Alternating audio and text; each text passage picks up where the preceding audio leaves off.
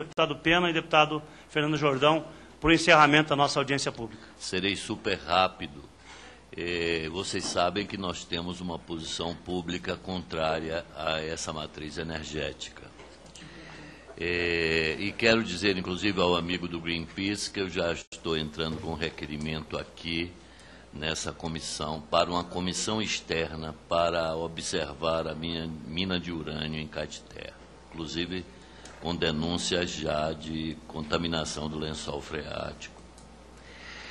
E essa nossa posição nos levou a conversar com, na embaixada com o embaixador alemão, justamente pedindo uma atenção especial e mesmo a possibilidade de que eles fizessem investimentos em energias limpas e renováveis. Aí ele falou assim: olha que interessante. Engraçado, não existe o debate sobre a energia nuclear no Brasil.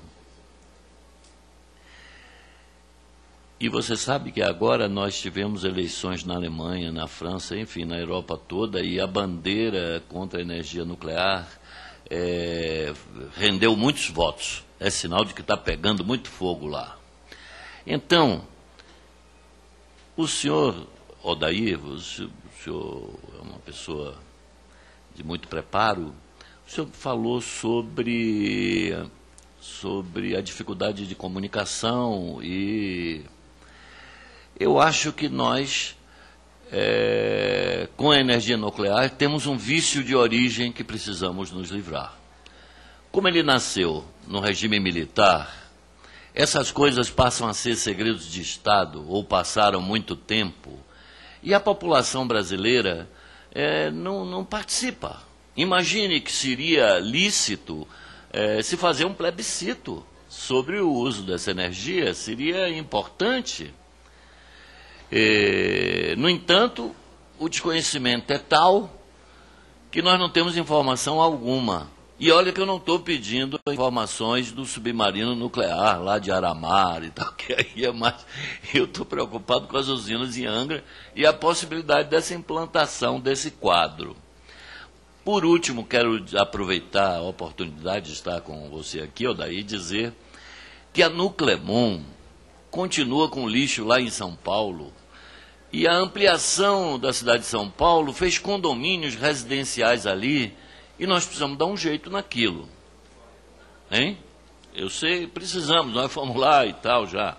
E depois eu acho que, eh, não querendo me contrapor ao senhor Rogério, mas eu acho que a fiscalização deve ter uma carreira independente do, do sistema, porque senão sofrerá pressões, é, sofrerá pressões indevidas.